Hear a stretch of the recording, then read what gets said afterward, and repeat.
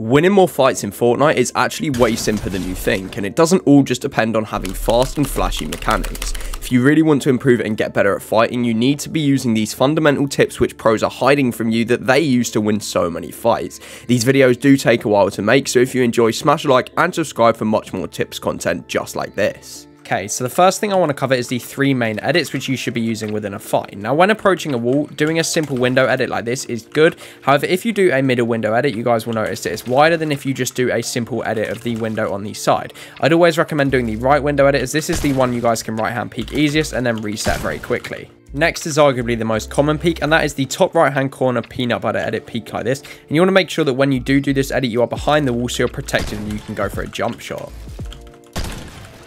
Lastly, we have the bottom right hand corner edit just like so and this should be only used when you're to the left side of the box and you're looking to just finish off your opponent as you're likely to take damage back. You should only use this peek when you have the health advantage.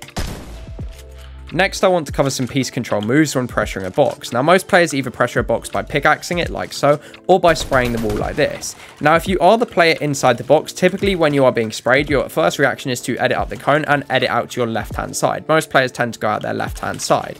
Now, what you can do if you are the player outside the box here is that if you see the guy inside, maybe edit up his cone like he's going to go out his box, immediately you can guess he's going to go out to the left-hand side, and you can pre-piece this option right there, meaning you can get a free pump shot and reset the wall. From there, you can then use like the peanut butter peek like we had earlier, for example, peek up in the top corner, get some damage on him, and you've also got the cone in the box, and from there you should close out the fight pretty quickly. Next, you always want to look out for if your opponent has a cone in their box, because if they don't, then you can use this simple move. Now, instead of just when spraying out a wall trying to replace the wall like so, I recommend that you guys do this you place a ramp in the box and then a wall like so instantly. And if you guys are in the player in this situation in the box right here, you now look like this and the your opponent has both that wall and this ramp. Immediately, you're going to try and run out left. Again, you're going to get piece control by someone using the previous tip to pre-piece you right here.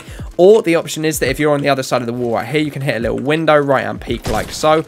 Or again, like I said earlier, you guys can use the right hand window edit. You can go like so, pop your player like that. This player's stuck in the corner, easy right hand peek, get a free tag onto the opponent. When you're approaching your opponent's wall and you think that they're aiming to pre-fire you from inside the box, use this easy tip of just simply placing a ramp inside the opponent's box so this is what they see. Again, to show you guys what this looks like from the outside, as you're approaching someone's box and they look like they're about to go for a pre-fire, the second they make that edit, you just boom want to put that ramp in their face straight away. And this gives you piece control onto them to either shoot or, for example, say this window edit's still open, you can reset it there, even going to go out to the side, easily pre-piece it like that and get another shot off. Same thing I've already showed you guys. Another thing to do with the idea of blocking pre-fires is let's say that you get the ramp in your box immediately. If the opponent is elevated so they are not on the ground floor, it's most likely that they're going to edit out of the bottom. So you can simply edit down, get a cone piece control and get a free shot onto your opponent or even box him in if you needed to like so. Next, I want to cover the topic of edit baiting. So let's say your opponent is boxed up like this with a cone in their box, and you have just gone up to their wall, you've double pickaxed it or single pickaxed it, played it smart, and you have taken the wall. From there, you guys can make a single little trick with edit baiting, and it all evolves around this middle window edit. When you open this middle window edit, you are exposing yourself to the player within the box. Just show you guys what it looks like, you're going to be exposing yourself if you're stood right there, and this player is immediately going to go for a shot on you. Now, this is where the trick comes in. When you edit this window, you immediately go to reset the window right that. Now, his shot that he fires trying to hit you actually ends up breaking the wall, just like so.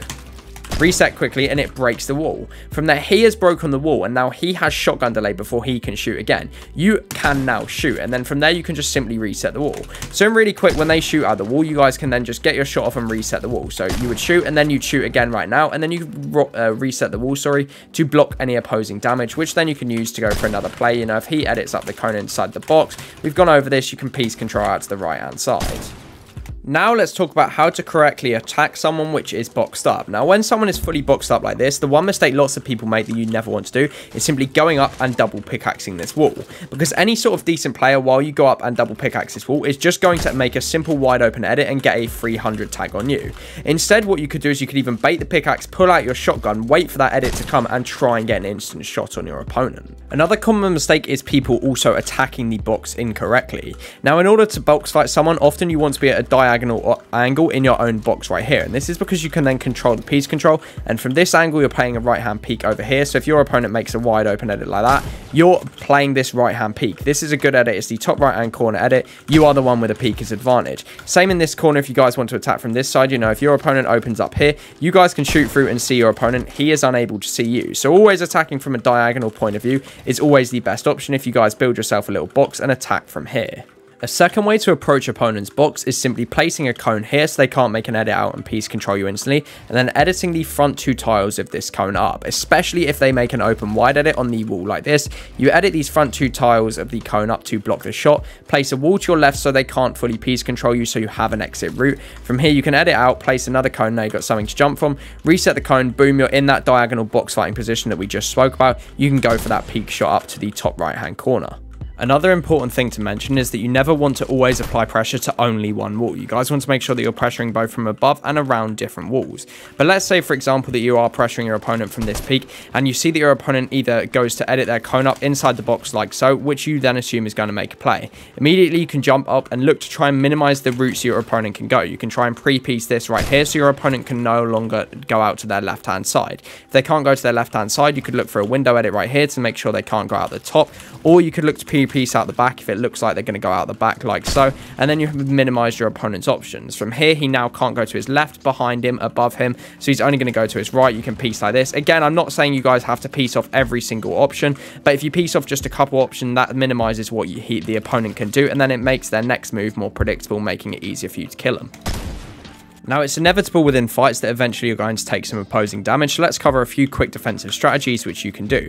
The first one is known as the snail technique, and effectively just what it is is literally a 2x2 just like this. Again, there are quicker and more efficient ways of building it, I'm just showing you guys how to build it. And basically what this allows you is that it allows you to then have four different boxes to play from. So even if your opponent is pressuring you right here, let's say they even take this wall, you can edit out the cone right so now you've got a right hand peek right here, you can go for an attack on your opponent, or you can drop back into more boxes like so. And the idea behind this is that eventually you guys, even if your opponent continues to pressure you, can just continue making space and you have more and more boxes to fight on to get more and more angles onto your opponent. Now, it's also inevitable that we don't all have unlimited mats, so whilst a snail is good, at some point you have to deal opposing damage back onto your opponent. One of the best ways to do this is for a pre-fire. Now, I'm sure 95% of you watching this video know what a pre-fire is, but for those that don't, it's effectively guessing when your opponent is going to make a window edit or an edit onto you and shooting pre-firing their edit and allowing you to get damage onto them when they literally have no time to block it. So the second they make the edit, you shoot, depending on how quick your reaction times is, you get an instant shot on your opponent. Now, this is always good when someone is pressuring you, for example, on your wall, and you can just pre-fire them as soon as they pickaxe out that wall. You get the pre-fire, get the shotgun shot off, then you can immediately go out back, create more space, and heal up. Last thing I want to talk about is understanding your sensitivity and DPI because actually fast edits just like this, like triple edits and like quad edits, aren't actually that important in being a good fire. It's just the consistency of these simple edits which is good. In terms of sensitivity, the higher sensitivity you are, I'm 11.1% 800 DPI, I tend to think your edits are going to be quicker, but like I said, find a correct balance because being able to do all this quad edits is no use when it comes into a fight because these aren't going to get you kills. Simple peeks like the window edits, just like so, and the top right hand corner edits are the ones that will get you these shots and damage. Thank you very much for watching. I really hope you have enjoyed. Please let me know in the comments down below any other videos just like this that you would like to see. Peace out from me.